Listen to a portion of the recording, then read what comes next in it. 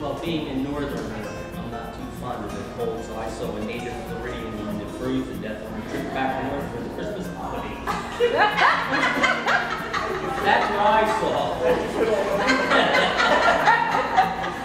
And what I saw is your hand doesn't belong there. Your what? Your hand doesn't belong there. Yeah, there you go. Yeah. I think this would work. How oh, about this? Oh, can you move it a hundred times?